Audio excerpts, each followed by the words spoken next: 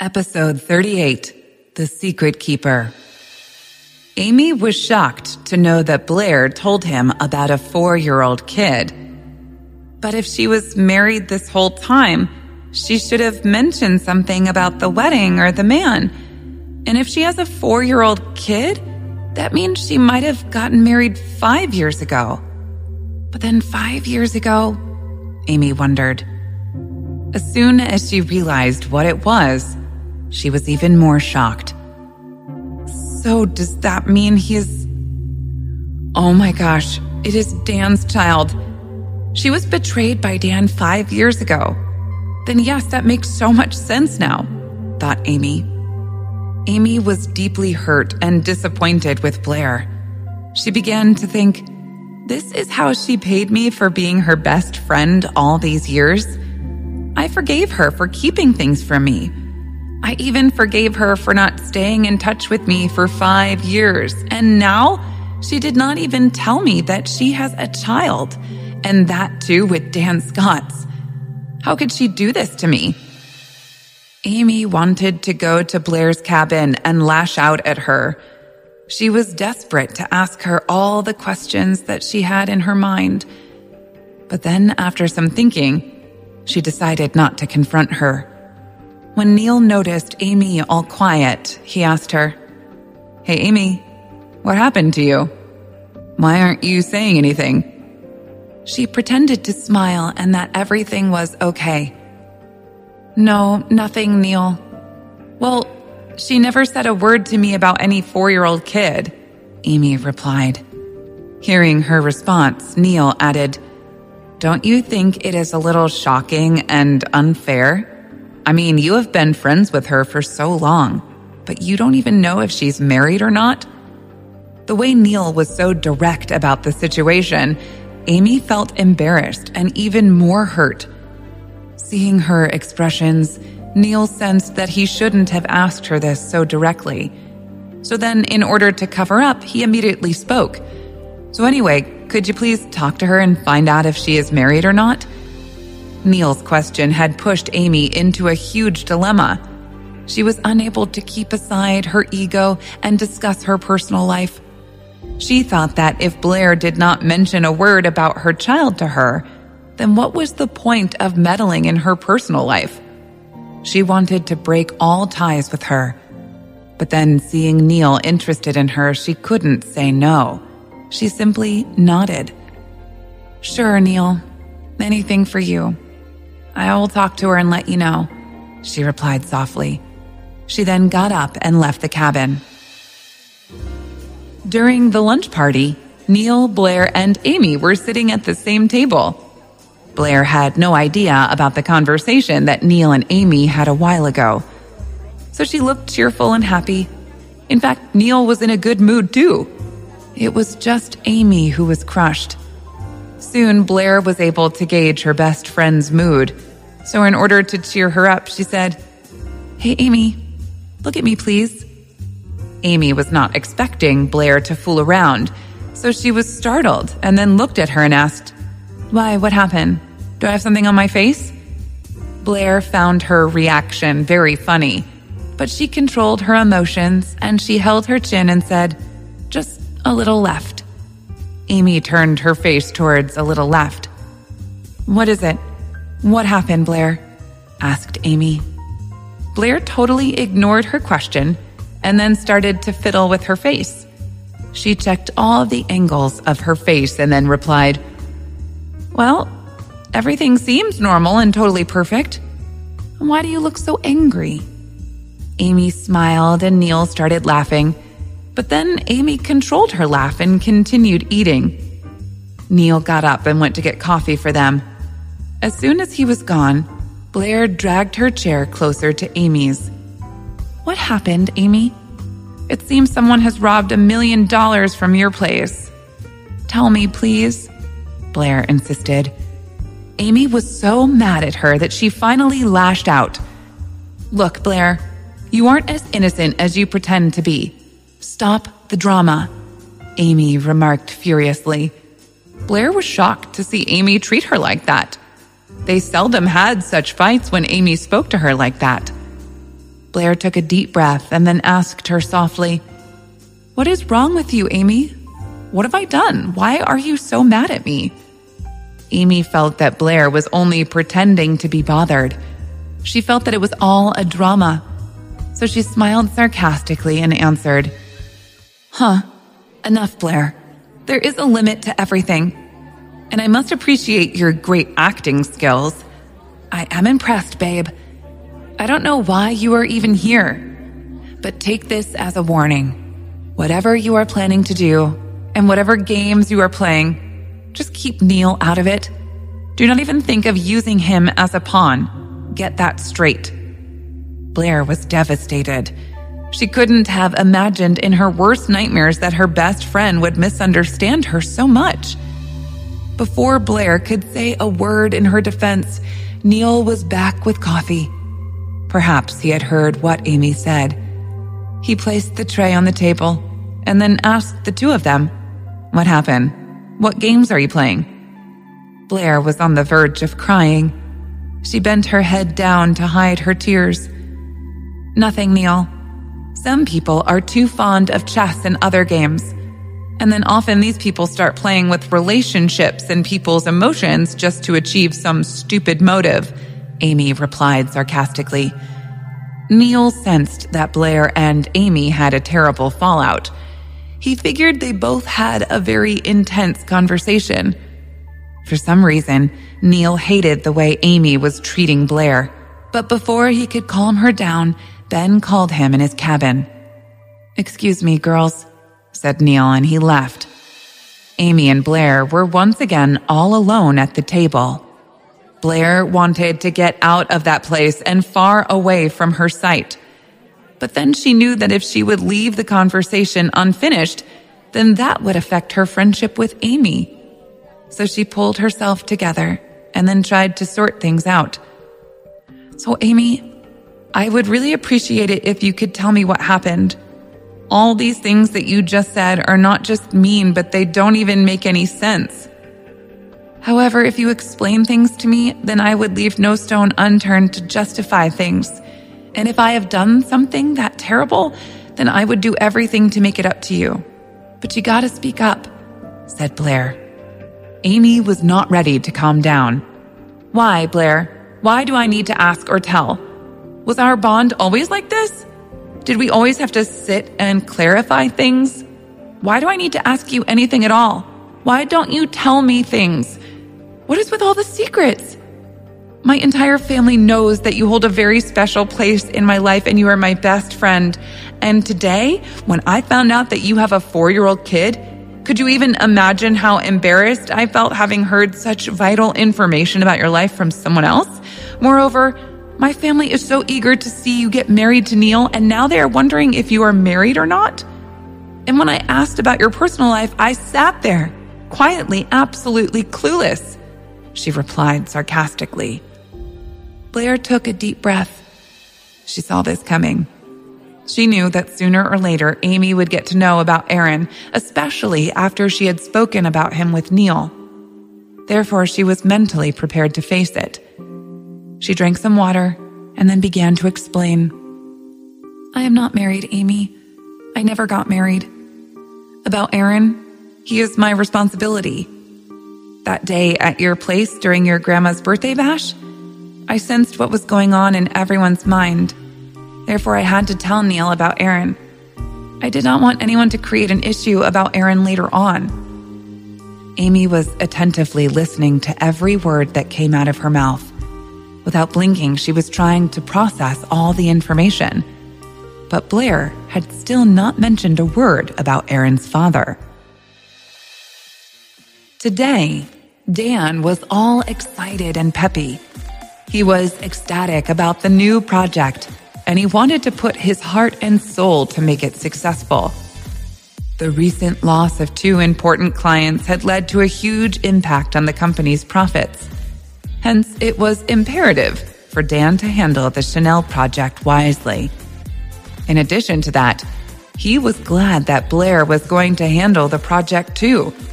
He knew that would give him several opportunities to get closer to her. Although his eyes were stuck on his laptop, his mind was flooded with thoughts of Blair. Dan had spent the entire day completing all the formalities related to the new project. As soon as the clock struck six, Dan got up, packed his stuff, and went straight to the parking lot. He suddenly noticed Alyssa walking towards him. He was not expecting to see her there. Alyssa smiled and asked, Don't look so surprised. Won't you even ask me what I am doing here? Dan walked casually towards his car and asked, well, if I don't ask, would you not tell me? Anyway, I was coming to your place. I thought we haven't talked properly in a while, so I thought maybe we could have dinner together and catch up. Dan kept his coat in the back seat and replied, As much as Alyssa hated his first statement, she loved the second one. She was thrilled to see him making an effort. She started smiling. Oh my gosh, am I dreaming or what? She replied Dan sensed the sarcasm, but then he opened the front car door for her and said, Get in. Let's go somewhere and have dinner. For the first time in a long time, Dan was treating her so well. Alyssa was surprised and elated, and it seemed that she had misunderstood him about everything, and perhaps he really wanted to marry her. She smiled and got in the car. And what about my car? Do I just leave it here? It would be an honor for your company to have my car parked, Alyssa replied. Dan bent towards her and said, Give me the keys. Someone will drop it at your place. Alyssa took the car keys out of her bag and kept them on Dan's palm. Dan got out of the car and went to the security and gave the keys to him. He was then back in his car and drove out of the parking lot. Alyssa was in seventh heaven to get that attention and warmth from Dan she had been waiting for him to be that way for a long time. But she couldn't figure out what happened that had changed his behavior so much. Dan was a very stubborn person, and he knew how to take a stand for himself. If he had made up his mind to do something or to not do something, the entire universe couldn't conspire against him. So, what could have possibly changed him so much? While Alyssa was trying to guess the reasons behind the sudden change in his behavior, Dan stopped the car. She saw the board of Canlis and was thrilled to be there. Wow, I didn't even realize that we reached. I love this place, said Alyssa. She grabbed her bag, and before she could open the car door, Dan opened it for her and smiled. Oh, yes, we reached, Dan stated. She got out of the car and they both entered the restaurant. The place was dimly lit and the staff was dressed nicely and was fully groomed. Dan picked a table and said, Hey, come on, let's sit here. As you say, replied Alyssa. Let's order some coffee first, Dan suggested. Alyssa was staring at him. What are you looking at? Dan interrupted. Alyssa smiled and replied, Oh, nothing. Just gazing at the famous industrialist Mr. Dan Scott and his unpredictable moves. You know what? I often think that I would end up spending my whole life decoding you. Dan started laughing. The waiter was at their table waiting for them to place an order. Soon, the coffee was served. Dan took the first sip and asked, Besides being your fiance, am I not your friend? Alyssa was a little confused now. Um, yes, of course. In fact, I think that being friends with your partner is essential, and nobody could be a better friend than your partner, she replied with a lot of hesitation. Dan figured that Alyssa was up to something, so he quickly asked her, Are you wondering what changed? The man who had been avoiding you for the last few days is being so good to you today? Alyssa took a sip and asked dramatically, Oh, so you are accepting that you have been avoiding me? Dan was trapped in his own words. So to cover up, he tried to handle the conversation. Of course, had I not ignored you, I wouldn't have mentioned it, right? But the only reason behind it was that I was occupied with loads of work at the office. And then I had to take care of a few other things too, Dan explained. Alyssa was not fully convinced. She did not buy those reasons. She knew very well the actual reasons behind his behavior the past few weeks. But she did not let Dan know. She smiled and pretended to understand. Dan took another sip of his coffee and spoke. Anyway, I brought you here to share some great news. Alyssa got a little nervous as soon as Dan mentioned good news. She secretly started hoping it would not be something that she was scared of. Dan stared at her and then informed, So we finally acquired the Chanel project. Alyssa took a deep breath and then replied softly, Okay, congratulations. In the end, exactly the same thing happened that she was scared of. She knew what he was about to tell her.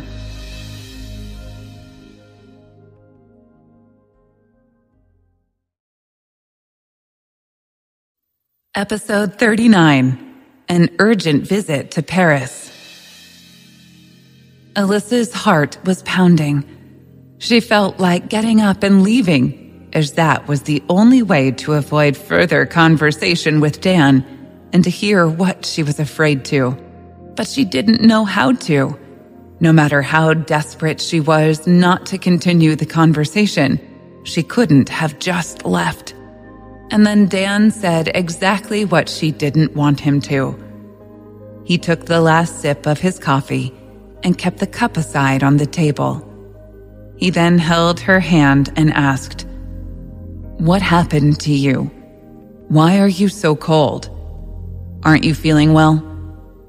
Alyssa nodded her head in a no and replied, Oh no, the AC. The temperature is too low here. Dan realized something and decided to not say anything further. After lunch was over, Amy went straight to Neil's place. A little later, when Neil got free from dinner, Neil was glad to find her alone to strike a conversation. He asked her about Blair. so, did you get the chance to speak to Blair? You know, about her being married or not? asked Neil. Amy was irritated about the question. Neil, Blair is neither the first nor the last woman to be alive, right? There are thousands of other women. Why can't you just forget her? asked Amy. Neil tried to calm her down and asked, Hey, well, what happened? Why are you talking to me like this? Did you get into a fight with her? As soon as Neil tried to pacify her, Amy realized that she was being rude to him just because of her best friend. She quickly responded to lighten things. Sorry, Neil. I didn't mean to sound rude. I, I really am sorry. When Neil saw her getting embarrassed because of her behavior, he caressed her head and responded, Hey, it's okay. It happens. I understand. When Amy was convinced that Neil understood the situation and wasn't mad at her for being rude, she continued, Neil, listen, she isn't married, okay? But she has a kid, and when I asked her more about the child, all she said was that he was her responsibility. And what I think is that probably she has adopted him, Amy informed. Neil was relieved and on cloud nine upon hearing that Blair was not married, but he made a conscious effort to ensure that he didn't make it evident. Jeremy and Dan were discussing things in the office when Bart walked in. Dan was shocked to find Alyssa following Bart inside his cabin. He stood up and welcomed both of them. Hey, Dad. Hi, Alyssa. What brings you here early in the morning? asked Dan. When Jeremy realized that almost the whole family was in the cabin, he decided to get up and take a leave. I must go. I will see you later, Mr. Scott. As soon as Jeremy left, Bart and Alyssa occupied the chairs and got comfortable. Well, Dan, I was thinking that considering we have finally got the Chanel project, the workload has gone tremendously up. and I am sure it is getting tough. So I've decided that Alyssa could start assisting you. It won't just reduce your workload, but also would make things fun, said Bart Scott.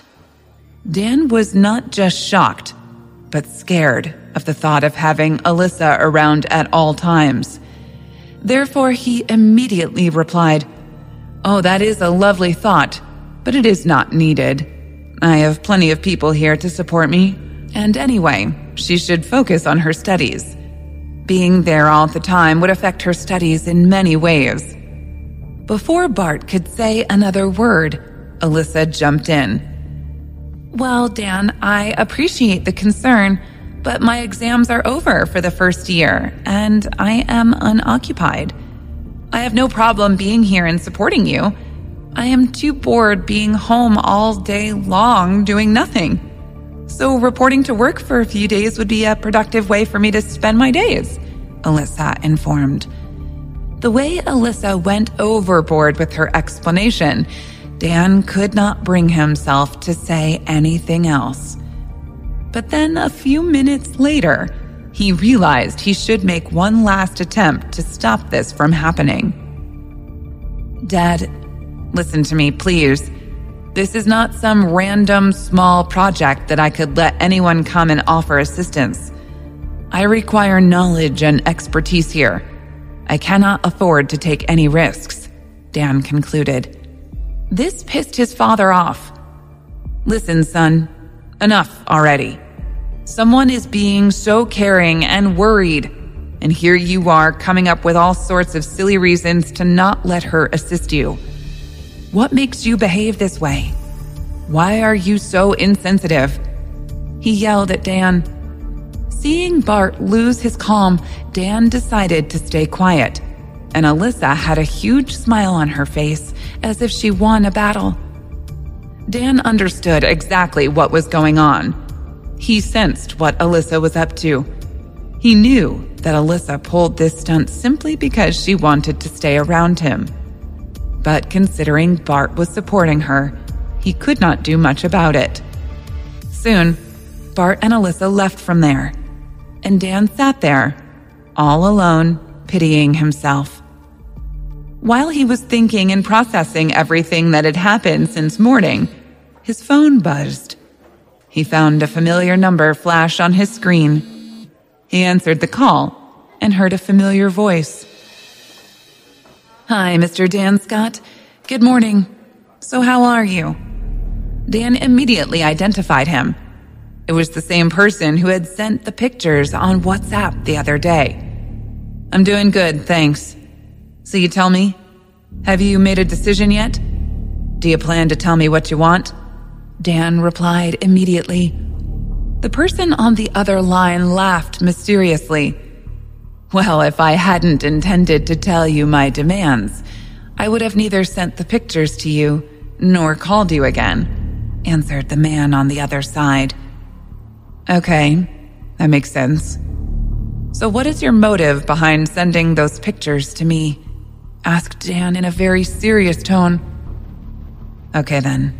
Since you are forcing me so much, I must tell you. Do you even realize the consequences of these pictures being exposed to the public? Could you even imagine what would happen if people could access them? asked the person on the other side. The man took a short pause to wait for Dan to process what he had just said. Mr. Whoever, you have already told me these things. I am fully aware of the consequences they could have, all right? So please try and be a little straightforward and tell me what you want, asked Dan. Well, so to be honest and straightforward, the thing is that if you don't want these pictures to go public, you would have to break all ties with that woman and her child, said the man with a sharp tone. Dan couldn't have seen this coming. He was shocked his mouth widened.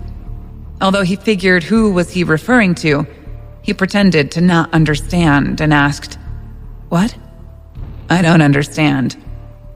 As soon as these words came out of Dan's mouth, the man on the other side snapped and replied angrily, Mr. Dan Scott, stop being so innocent.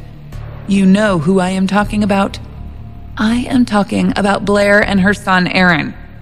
So now you know, right? Dan ignored the rage in his voice and asked, Who told you that I have any sort of relationship with Blair or her son? What? Who told me? Let's not get into all this, okay? It would only waste your and my time. Just so you know, that child is not yours, informed the man. Dan was pissed off. Whether he is my child or not, you don't need to bother. Stay out of it. And I am not giving any authority to anyone to take decisions of my life on my behalf. So keep your suggestions in your pocket. Dan yelled angrily. The way Dan responded, the man on the other line reacted instantly. Okay, then fine. If you are not interested in this deal, then let it be. I would just get on a call with a few media houses and sell these pictures to them at a great rate. You don't have any idea the price they would pay me for these fabulous pictures. Without waiting for his response, he disconnected the call. Dan kept staring at his phone screen for a long time. The way that man had disconnected the call made him more nervous and worried. He started wondering if he should agree to his terms. Neil and Blair were sitting opposite each other in the conference room. Blair's presentation was being played on the projector. Blair's phone rang, so she left the room to answer the call. Excuse me, Mr. Archibald, said Blair. As soon as Blair looked at her phone, she found a French number flash on the screen. She answered the call. Hello? said Blair. Blair was worried listening to what she was told by the person on the other side. She finished the conversation and went back to the conference room. Neil observed the tension on her face and asked right away, Hey, Miss Cooper, is everything okay? Who called you? You look worried. Blair was quiet and did not know if she should tell Neil anything or not. Mr. Archibald, I don't know if I should talk about this or not, but I think I must, replied Blair. Neil shut his laptop and looked her in the eye. Hey, you can tell me anything, whatever it is. Don't worry, said Neil, trying to comfort her. Blair felt nice when she found him asking her with much politeness. Well, I just got a call from Paris. I have to go there urgently for a few days. Blair informed. Neil was shocked to hear this. He replied to her with hesitation. But, Ms. Cooper, you know how important this project is, right? We can't afford to make a single mistake. It would cost us too much. Blair looked a bit embarrassed and she said softly, I know, Mr. Archibald. I am fully aware. I know it is important for me to be here, but trust me when I say this. Going to Paris for a few days is more important than the project. I promise I won't let the work get impacted. I will not avoid work. Even when I would be in Paris, I would continue working. It is just about 10 days. Blair was making every possible effort to convince him. Neil was confused. He sat there for a while and then he decided something. Okay, cool, fine. If it is that important, then what could I say, right? But you would have to assure us that since you are going to Paris for your work, you would not let any delay in the work here, Neil demanded. I assure you, Mr. Archibald, I promise to not put any work on hold no matter what, Blair assured. She explained to him so effectively that he ended up approving her leave for 10 days. Blair had to leave the same evening. As soon as she reached home, she started to pack her things, and then she realized that she must let her mother know. She called her immediately. As soon as Julia heard her voice, she answered, Hey, did you disappear? I thought of calling you, but then resisted thinking that you must be busy. But you should miss me sometimes, don't you think? asked Julia. Hearing a long lecture from her mother, Blair got irritated. Mom, Don't you think you have become a crybaby? You always complain. I was at your place on Sunday. It hasn't even been a week, and now I have called you. But you can't seem to let go of any opportunity to say things to me, Blair replied. Julia felt a bit embarrassed. She felt guilty about always sulking. Okay, okay, fine. I'm sorry. I won't do this again. So tell me, why have you called?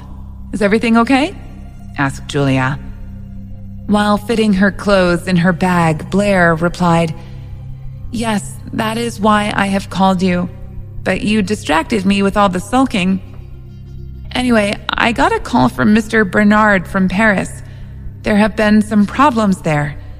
So I have to go there urgently. I would take a week or two. I would keep calling Aaron from there. Just explain to him that I won't be able to visit him for a few days. Hmm. Okay, love. I would let Aaron know. Don't worry about him. But did Mr. Bernard inform you what was so urgent and why does he want you there so soon? asked Julia. No, Mother. He sounded panicked and nervous, so I didn't ask him much. So I am leaving for the airport now. I will keep you posted. I would get to know more once I reach. Blair concluded. Sure. Take care of yourself. Don't skip meals, okay? Stay safe and ping me once you reach. I love you, said Julia, and then she disconnected the call. Blair's flight was scheduled for 7 p.m., so she packed all her stuff and called a cab. The cab was supposed to reach in 10 minutes. She locked her door and shut all the windows and dragged her bag out of her apartment and started waiting for the cab. It was over 10 minutes, but the cab hadn't arrived. She called the cab driver to follow up and he told her that he was stuck in a traffic jam. Blair did not have the time to wait any longer or book another cab, so she decided to take the train. She rushed towards the subway. She finally boarded the train and breathed a sigh of relief. As soon as she reached the airport, she got her boarding pass and went straight to the waiting area. The airport was crowded, and amid so many people, Blair felt lonelier than ever. She took a deep breath and observed people kill time. She suddenly spotted a couple, and then the man looked familiar. The woman's face was covered with a scarf, so she couldn't recognize her. But the man was none other than Bart Scott. She was shocked to see him with that woman. Bart Scott?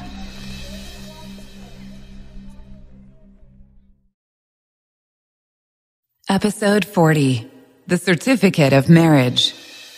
Blair was shocked to find Bart Scott with that lady. She started wondering who this woman could be. And then suddenly, she recalled Vanessa Hughes. Oh, yes, isn't she Vanessa Hughes, that supermodel? thought Blair.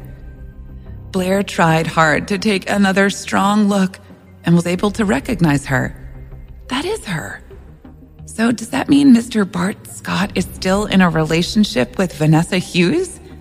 Blair had a thousand thoughts in her mind. Amidst these thoughts, suddenly her phone started ringing. She saw Dan's number flashing on her phone screen. She answered the call right away. Hello? answered Blair. I have to discuss something with you. It is about the Chanel project. So can we meet, please? asked Dan. Blair responded right away. No, I, I can't meet you. Hearing her refusing to meet outright made Dan upset. He went quiet. Blair sensed that she might have sounded rude. She tried to cover up and said, well, actually, I'm flying to Paris tonight and I won't be back in 10 days. So I will see you when I am back, Blair informed. For some reason, Dan was sad knowing that she would be gone for 10 days.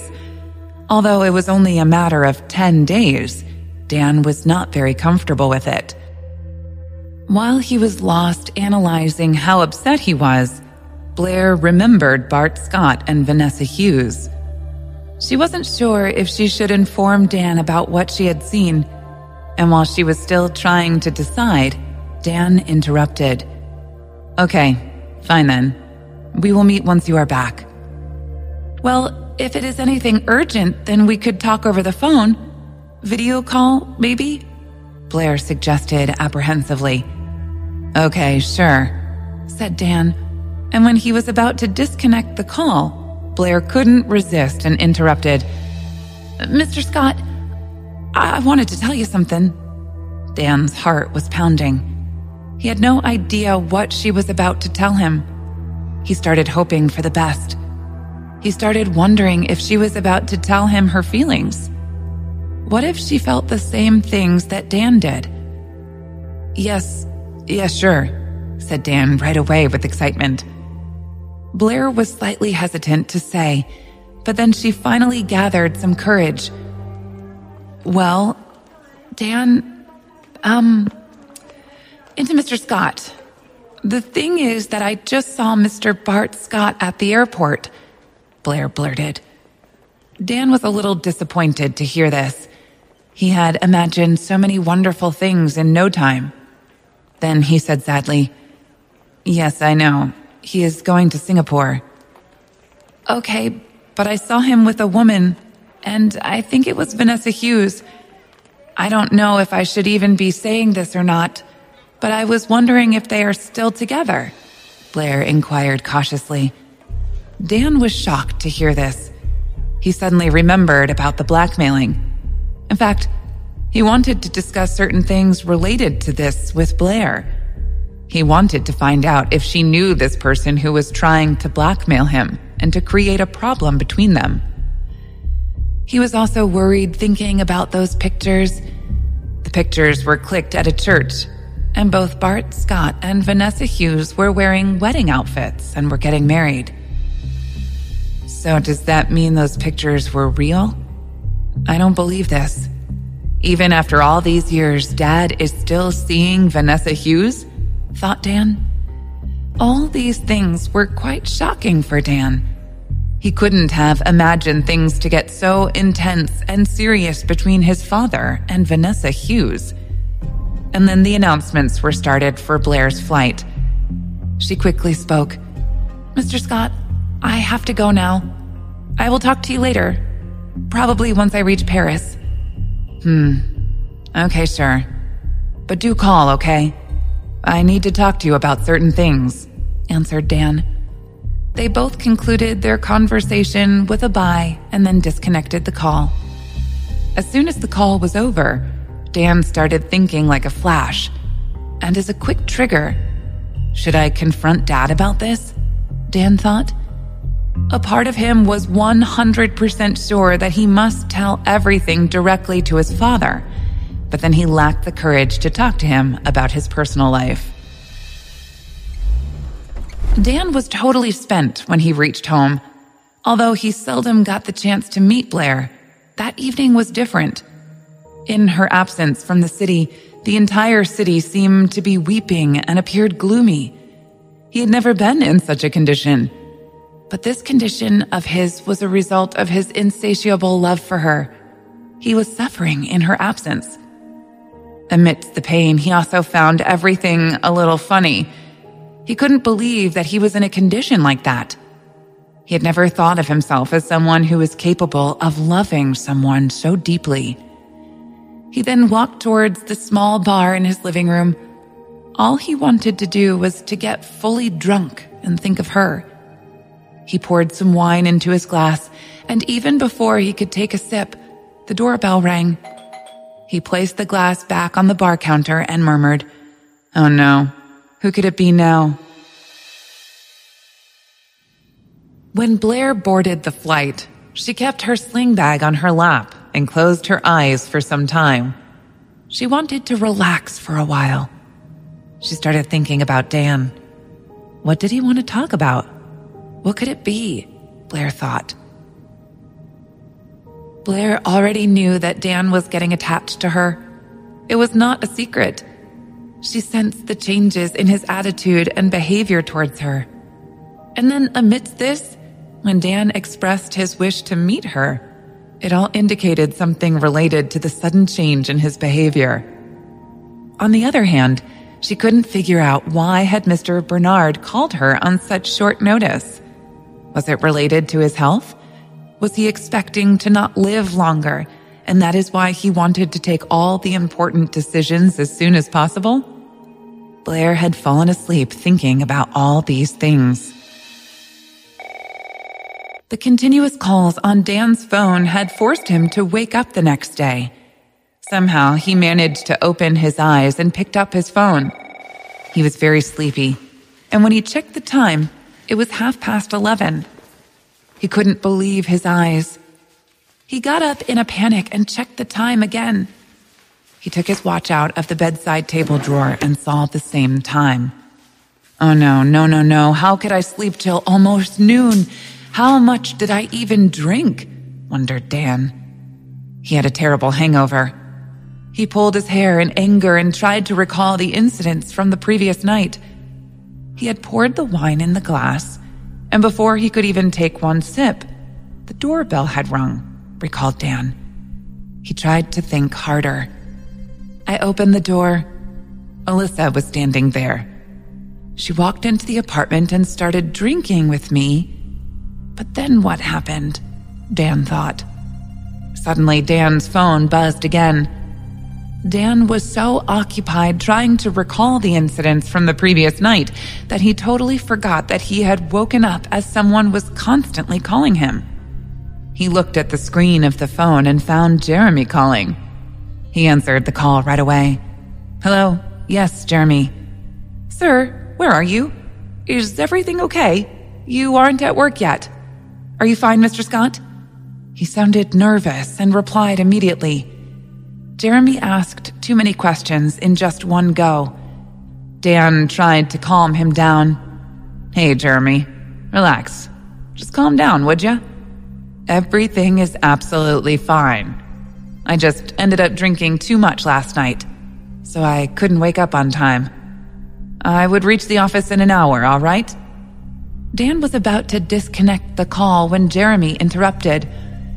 Mr. Um, Scott, actually, I had to tell you something. Well, Ms. Andrews is in the office and she is in your cabin.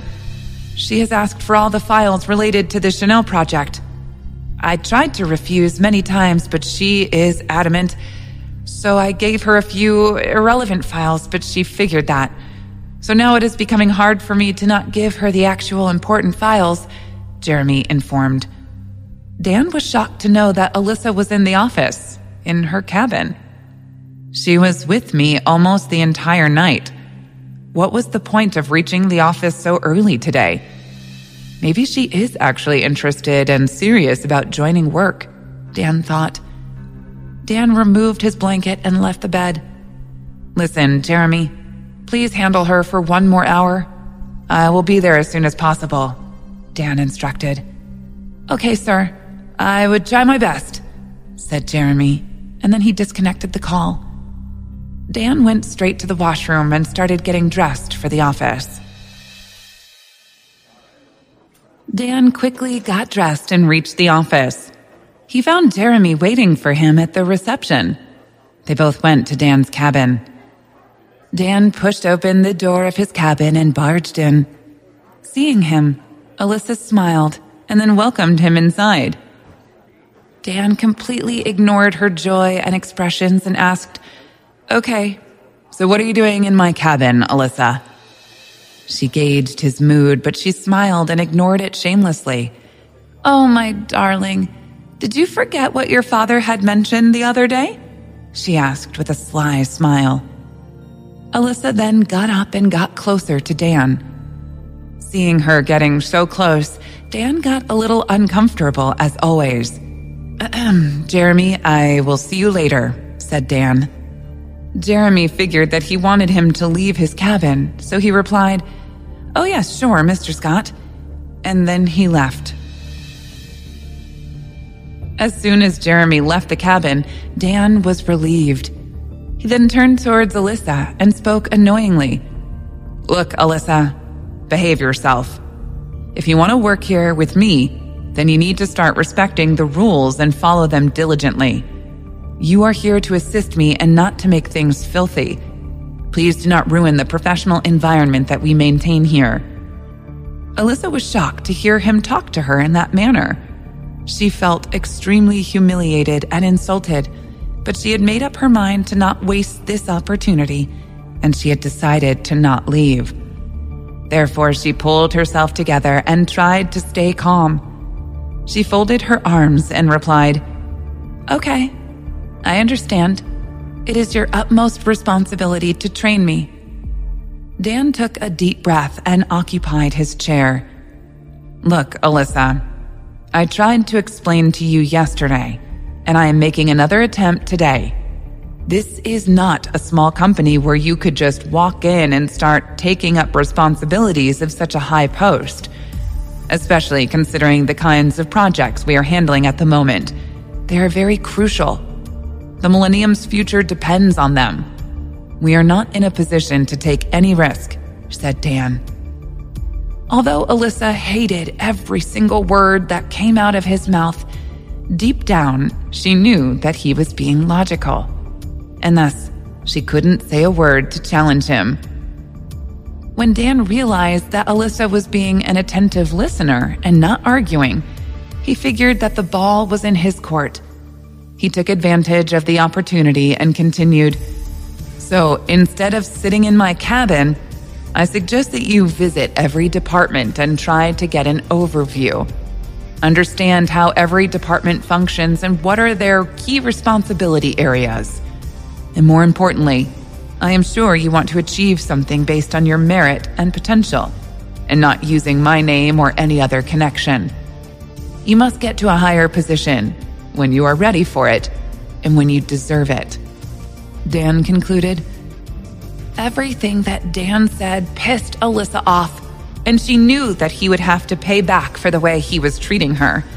She took pride in believing that he would make things so messed up for Dan that he would regret it later. When Dan saw her standing there, not uttering a word, he asked, So what happened? What is on your mind?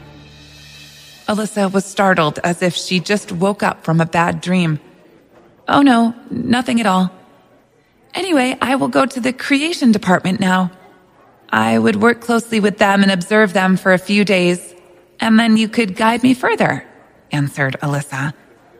When Dan heard her agreeing to what he had said, he was elated and relieved. He immediately replied, Oh, yes, that sounds nice. Alyssa picked up her bag and replied, Okay, then, let's meet for lunch. Bye. She then smiled and left his cabin. Even while leaving, she left Dan in another state of discomfort. Bye, said Dan. As soon as she was out of his cabin, Dan took a deep breath and closed his eyes. He suddenly realized something and called Jeremy into his cabin. Jeremy was soon in his cabin. He had carried a few files along. He placed them on Dan's table. So, Mr. Scott, finally, Ms. Andrews would visit here every day? Jeremy curiously asked. Seems like it. But Jeremy, to be honest with you, for some reason I am not getting any positive vibes. For the first few days, I need her to be watched at all times. You are getting my point, right? instructed Dan. Jeremy was a little shocked to find Dan talking about his to be wife but then he had always been a fan of Dan's intelligence, so he nodded and agreed. Sure, Mr. Scott, as you say. I would personally watch her, said Jeremy. Perfect. But make sure she doesn't get to know anything about this, Dan replied. Jeremy got up and answered, Sure, sir. You don't have to worry. I will handle it. Then he left the cabin. Dan started to go through the files that Jeremy had left on his desk. While he was flipping through the pages, he suddenly spotted a few papers on his table. They had Alyssa's and his passport size pictures. He picked those papers and started to read them with full attention. Seeing the title on those papers, his world turned upside down. In bold letters, the title read out Certification of Marriage.